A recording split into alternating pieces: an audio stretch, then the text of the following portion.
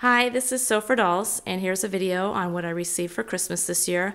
I'm only including my American Girl items. I figured nobody's really that interested in what else I received. Um, but as you can see, I did get the new, I think they're this, they call them scenes and setting, I don't remember.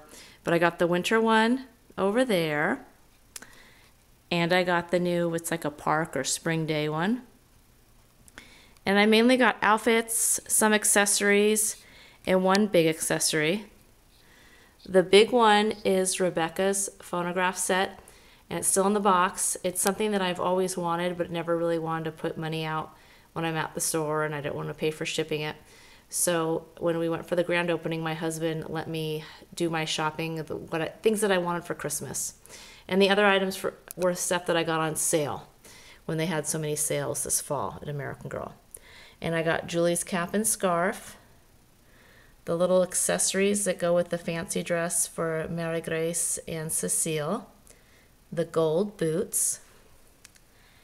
On the right is Molly's lunch set, which I really wanted. And on the le- left is Kit's uh, book set, or you know her little backpack. It has a whole bunch of school supplies. It is really cute.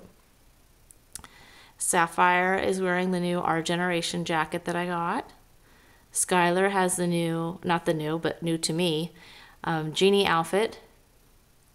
Ruthie finally has her holiday outfit. And LaFonda is wearing the store exclusive. It was an outfit that I was not going to get, but then I knew I would be sorry I didn't get it, so I'm really glad that I did get it. It's very, very beautiful.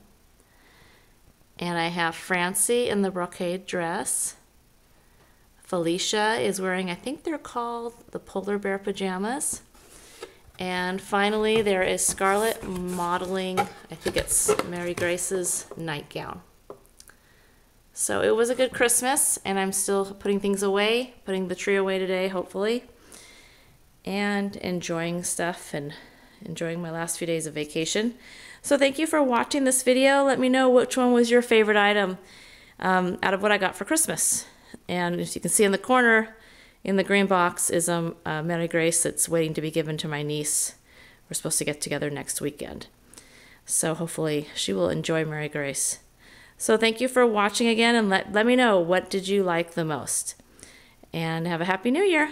Bye-bye.